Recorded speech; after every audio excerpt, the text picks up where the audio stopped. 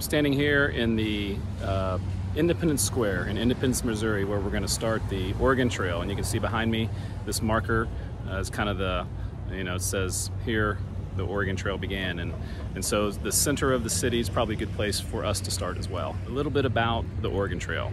So the Oregon Trail uh, was kind of set up in the early 1800s from like 1810 to 1830s by fur trappers and traders and people who were kind of trying to find you know avenues mostly along streams and rivers out to the west and a lot of them kind of were the early people to try to figure out the um, the pathway to get to the west. The first people to head out on the Oregon Trail uh, kind of on the, I guess what you would call the Oregon Trails, probably in the 1830s. There were only a, a, maybe a couple dozen in the 1830s that made that trek and um, tried to figure out, you know, where the path went. The 1840s was when the things really got going, and especially in 1843, that was the year called the Great Migration, where almost a thousand people headed west. So the main years of the Oregon Trail was about 1843 to 1869.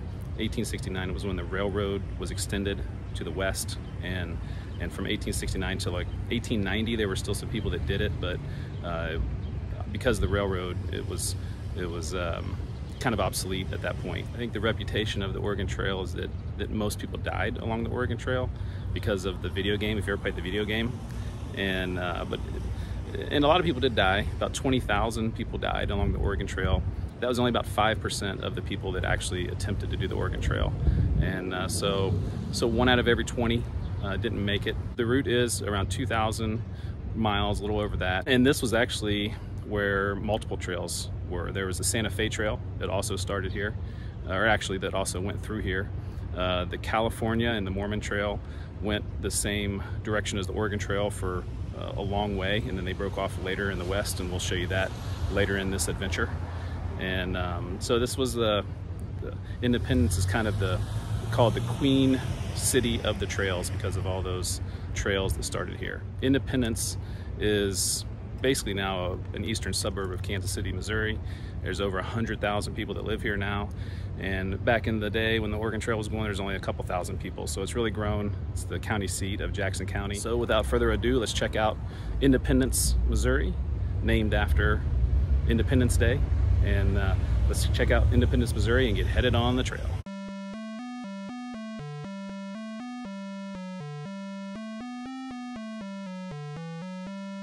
My wagon for the next couple weeks. Jeep Grand Cherokee. Wanted to get something that had a little bit of clearance in case I do a little off-roading. And uh, so hopefully this will be this will be a vehicle that does the trick.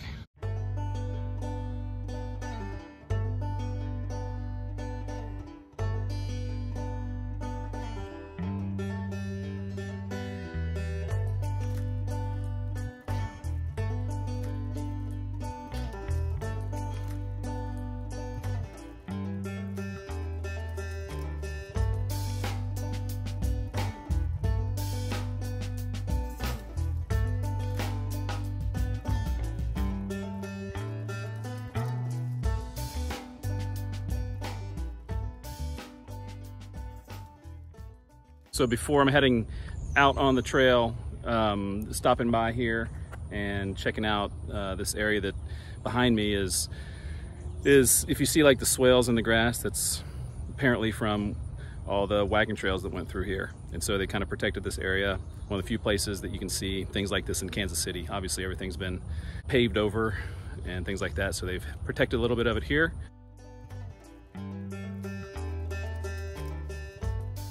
So the part of the Oregon Trail that's in Missouri is very short, 20 or so miles. Uh, and and so in fact, the way the the official, if you take the official National Historic Trails uh, route, then you'll go right into Kansas pretty quick. I'm gonna take what I think was the Oregon Trail, which is a little bit more south for a little while in Missouri, and then it kind of goes into Kansas a little more in the southern part of Kansas City. So basically from here, it's Kansas City, and then a lot of suburbs until we hit Kansas.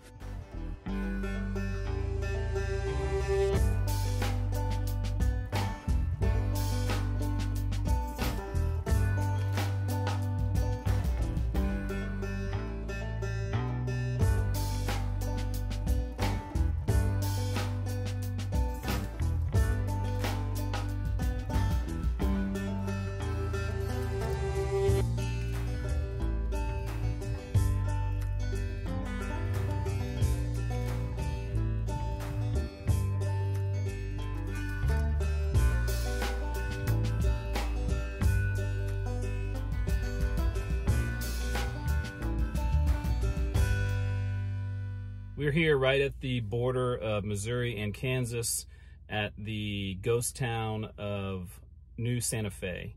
Um, backing up, you know, as we as we you just saw going through Missouri, not a lot to go through and check out in Missouri, mostly because it's just basically Kansas City and it's just a concrete jungle at this point. Uh, but some interesting, you know, old wagon ruts and some things like that. Those may not be the most exciting things to look at, but it is interesting to kind of even walk across them and, you know, feel the ground and how, you know, they were rutted for, you know, a couple hundred years ago and, and where the wagons actually went through. Uh, here, this is the last point of Missouri before we head into Kansas City. The state line is just really across the street here. And um, the interesting history with this little town that now is nothing more than a cemetery and then a historical place where they have more wagon ruts. Um, New Santa Fe was originally called Little Santa Fe. And and then it became, you know, as the Oregon Trail and the Santa Fe Trail were popular and came through here, it became a, um, you know, the last town before you got into Kansas. And because that, that was its downfall, because it was literally almost right on the state border um, during the Civil War, it became a town that just got destroyed by, you know, both sides of the Civil War. And uh, Missouri was a slave state and Kansas was um, a free state. And so it was, you know, just a lot of trouble. And the town eventually was destroyed and nothing much is left except for there's a cemetery now.